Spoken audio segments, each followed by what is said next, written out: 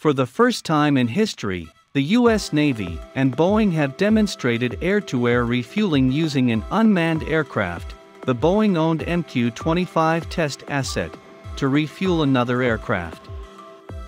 During a test flight June 4, drone successfully extended the hose and drogue from its U.S. Navy issued aerial refueling store and safely transferred jet fuel to a U.S. Navy F 18 Super Hornet demonstrating the drone Stingray's ability to carry out its primary aerial refueling mission.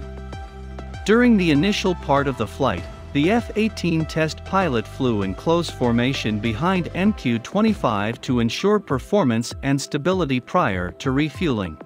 A maneuver that required as little as 20 feet of separation between the MQ-25 air vehicle and the F-18 refueling probe.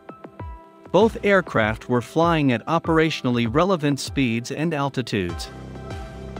With the evaluation safely completed, the MQ-25 drogue was extended, and the F-18 pilot moved in to plug with the unmanned aircraft and receive the scheduled fuel offload.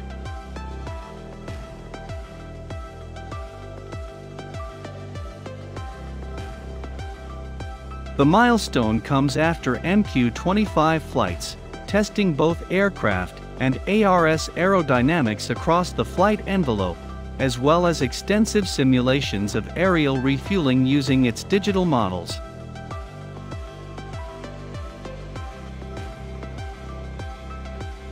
It will continue flight testing prior to being shipped to Norfolk, Virginia, for deck handling trials aboard a U.S.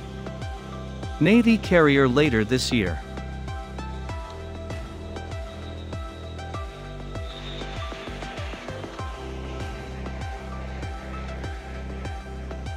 The Boeing-owned T-1 test asset is a predecessor to the seven test aircraft Boeing is manufacturing under a 2018 contract award.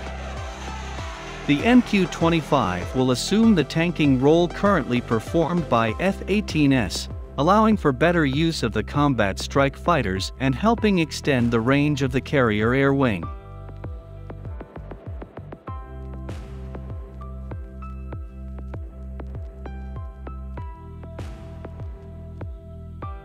If you liked our video please subscribe to our channel.